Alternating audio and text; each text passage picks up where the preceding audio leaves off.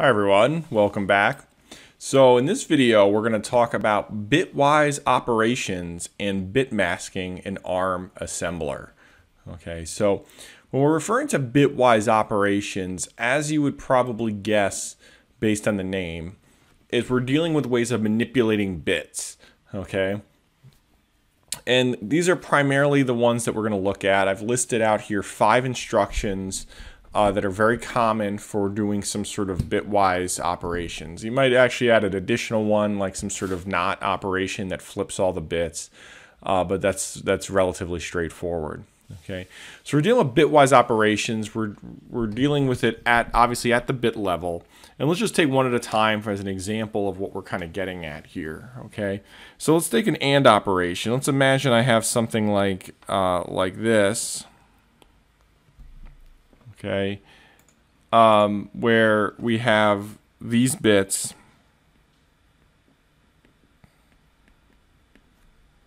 Okay, and if I do an AND operation here, right, I'm looking at each bit one at a time, right, and I'm ANDing each bit together. So if I look at zero, just the rightmost zero, zero ANDed against one, right, that's going to be zero right? And then we look at the next two bits. 0 and 0 is 0. 1 and 1 is 1. And 1 and 0 is 0. Okay, bitwise, we're comparing each bit, right?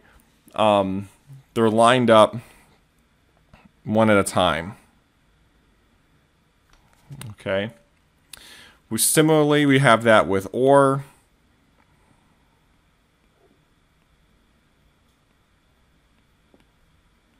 We did some sort of OR operation, 0 or 1, 0 or 0, 1 or 1, 1 or 0, okay? We could also do exclusive OR,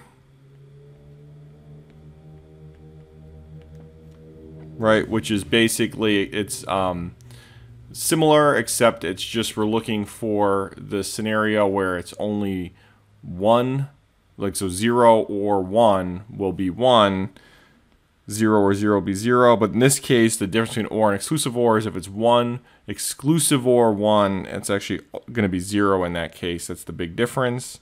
Okay so the only bit that's different here between those two is in this scenario here. And here notice the the difference. Okay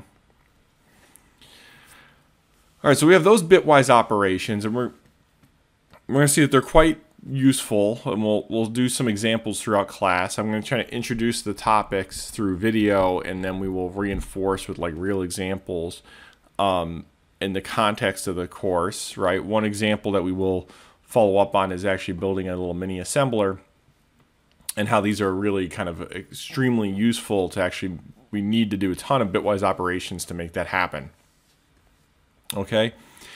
Um, shifting left, right? If let's just take an example here.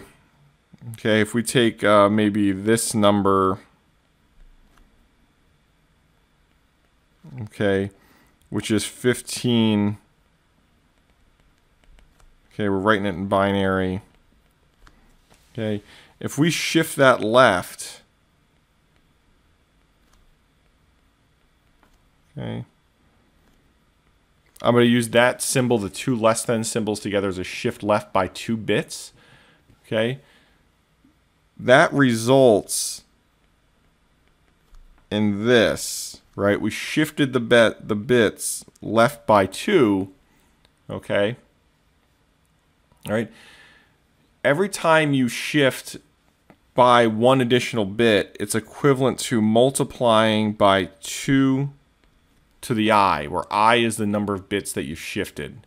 All right, so if we shift once, right, we're multiplying by 2. If we shift, shift twice, it's a multiplication by 4, right? And we can kind of just visually see this here, right? This is 15. Like if I, I'll just pull up a little bit of a programming calculator here. We look at this bit, the original 15, right? 1, 1, 1, 1, 15 in base right? We see it's 15, okay? right? If I shift it to left by 2, right, notice it's 60. It's a multiplication by 4. If I do add shift it left once more, it doubles again. I shift it left once more, it doubles again. Okay? So shifting left is multiplying by powers of 2 based on the number of bits that you're shifting. Okay? And likewise, right, if you're shifting to the right, right, if we took something where we shifted to the right, let's actually do the same 15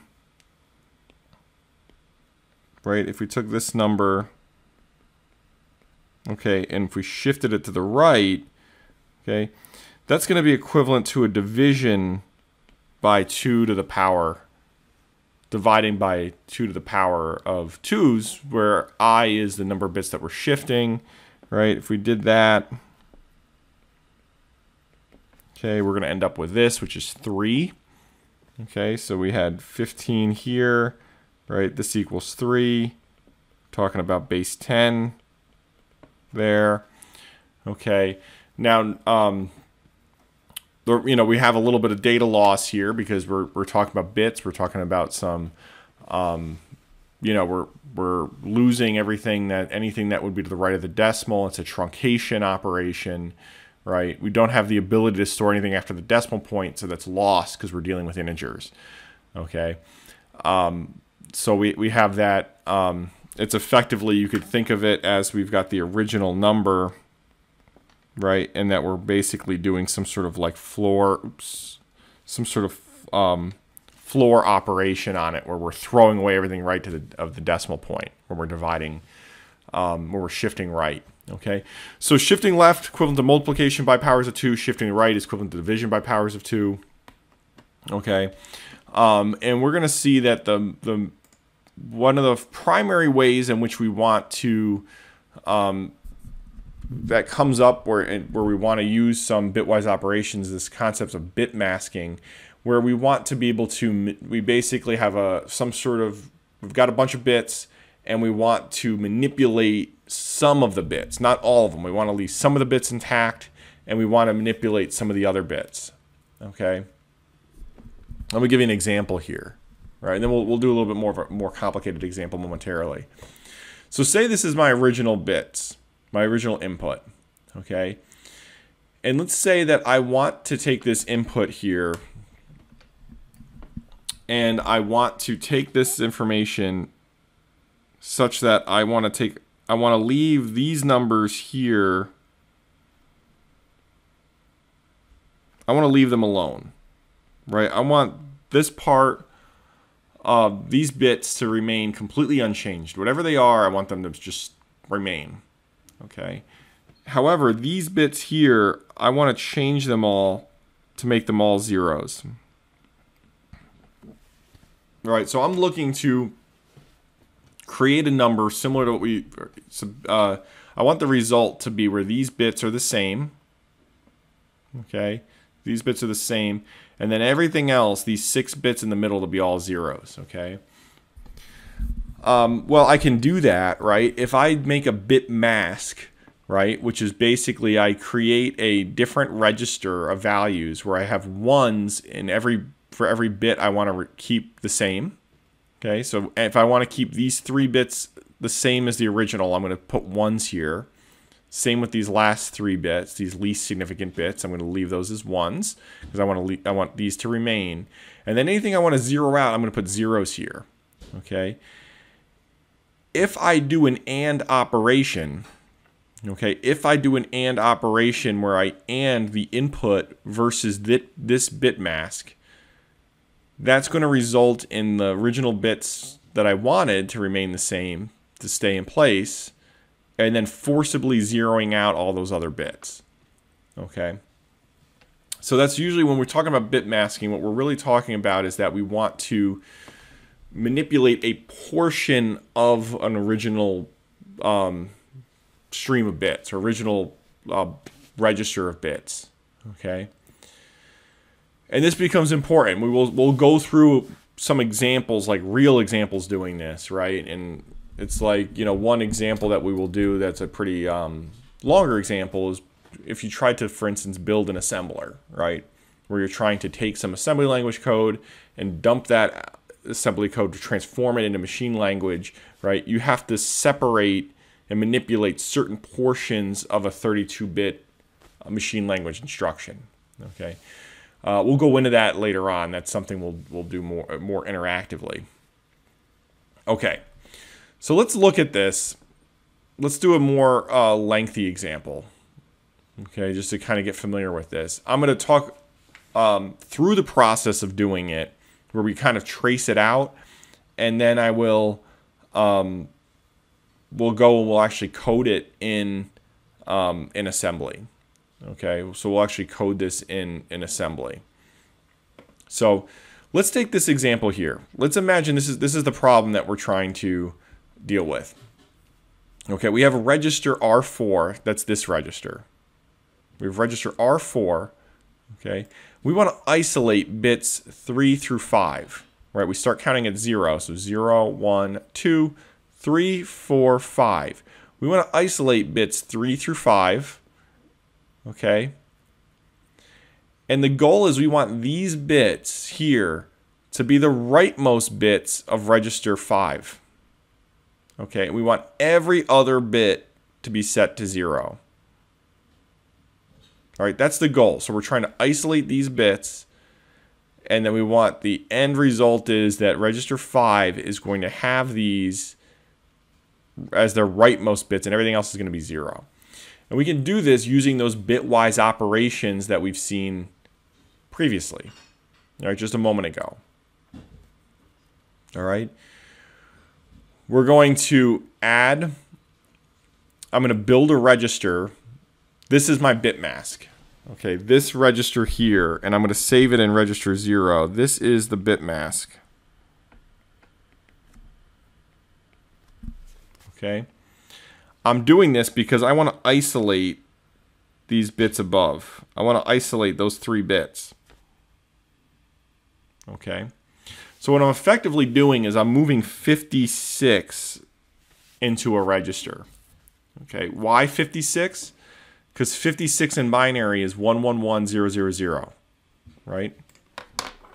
Right. So we can, there's two different ways we can get that, right? One is you could just do it out and say, we want those three bits um, to be isolated, right? I can, I'm looking here in my little programmer calculator, right? If I put that in in binary, we can see in decimal it's 56, right? Another way to get it would be a two-step process where you say, all right, I want to isolate three bits, right?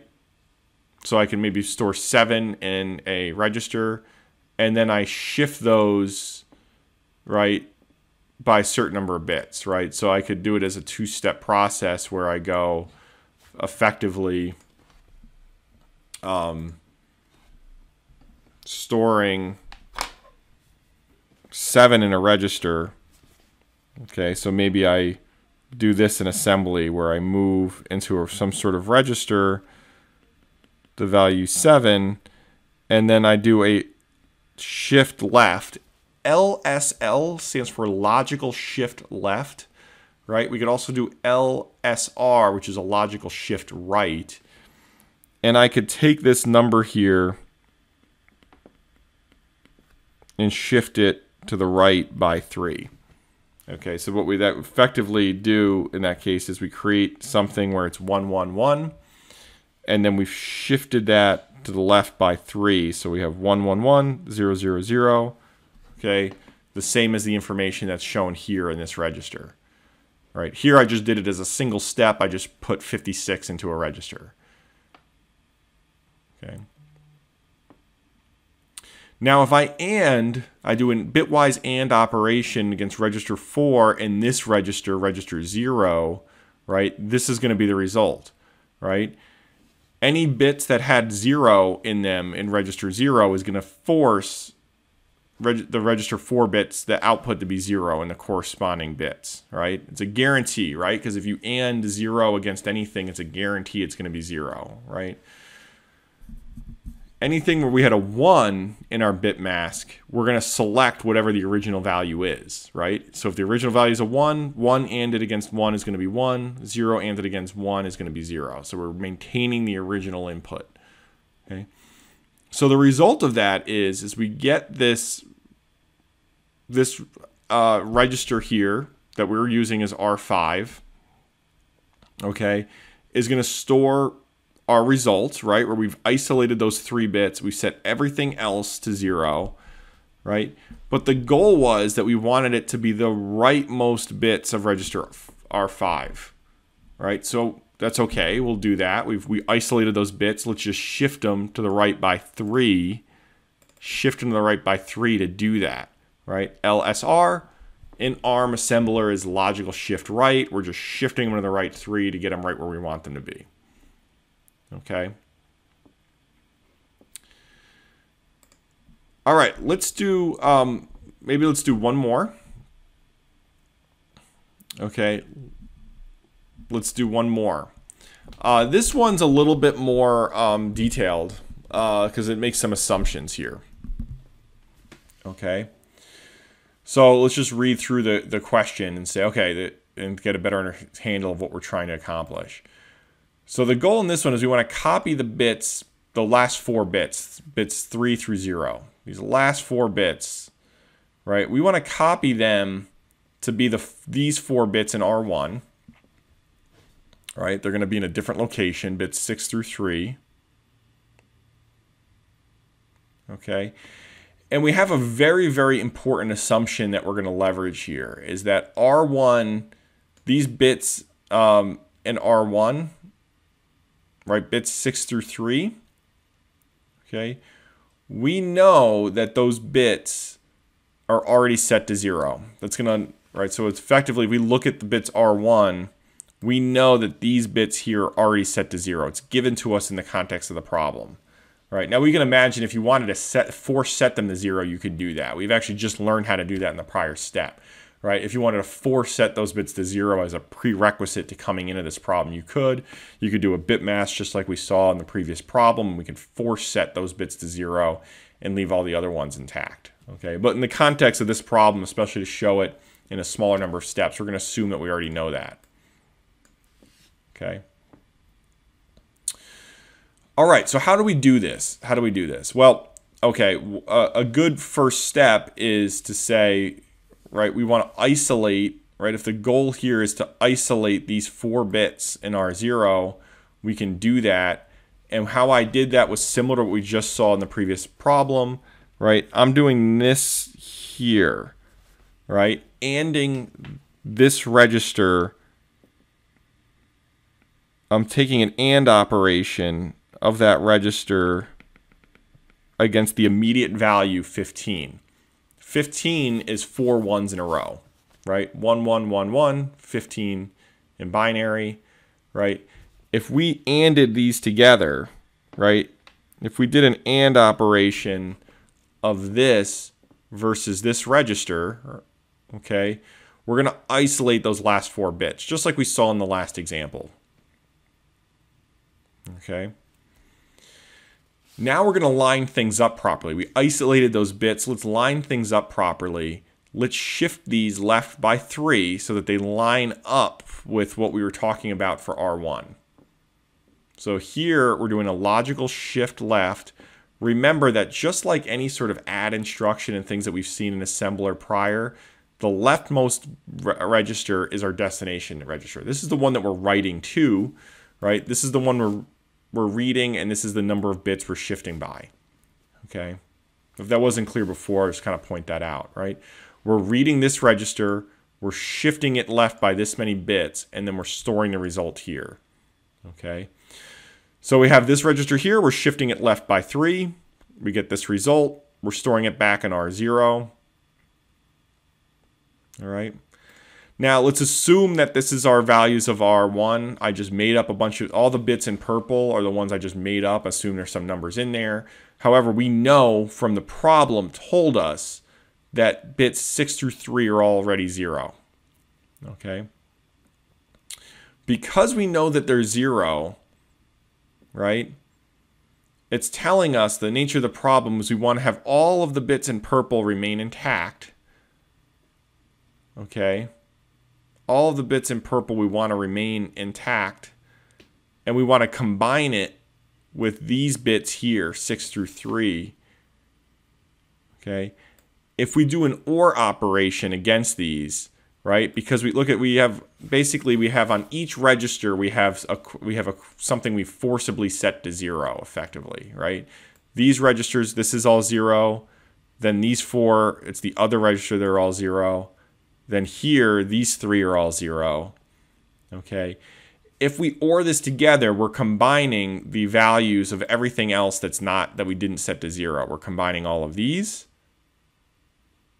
plus we're combining these four and then these four to get the result, right? So an OR operation, right, as long as we have one of the bits is one, we it maintains it, okay? And because we know that there's a, the other corresponding register had something forced to zero, we're going to get, right, we're, we're matching what the corresponding bits that we want, right? If it's a 1 here, we're going to get a 1. If it's a 0 here, we know we're going to get a 0 here because we forcibly set that to 0. Okay, same over here. If it's a 1 here, we know we're going to get a 1 on our output because we know that this bit's a 0. Okay, so it's allowing us to test if effectively if certain register values are, are zeros or 1, right, using these bitwise operations. Okay. All right, so in this video, right, watch it multiple times if you need to. We'll practice it in class. Um, we're getting, we're looking at the assembler bitwise operations. Okay, we will also follow up where we look at them in the context of C programming as well. All right, so we will look at them in the context of C programming, uh, where you can also deal and manipulate um, and work with bitwise operations, which is going to be quite useful for us. All right, so thanks for wa uh, watching. Please feel free to ping me with questions, and otherwise I'll see you in class and or the next video.